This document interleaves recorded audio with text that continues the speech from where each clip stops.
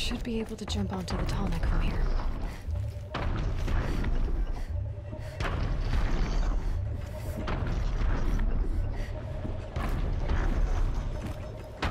All right.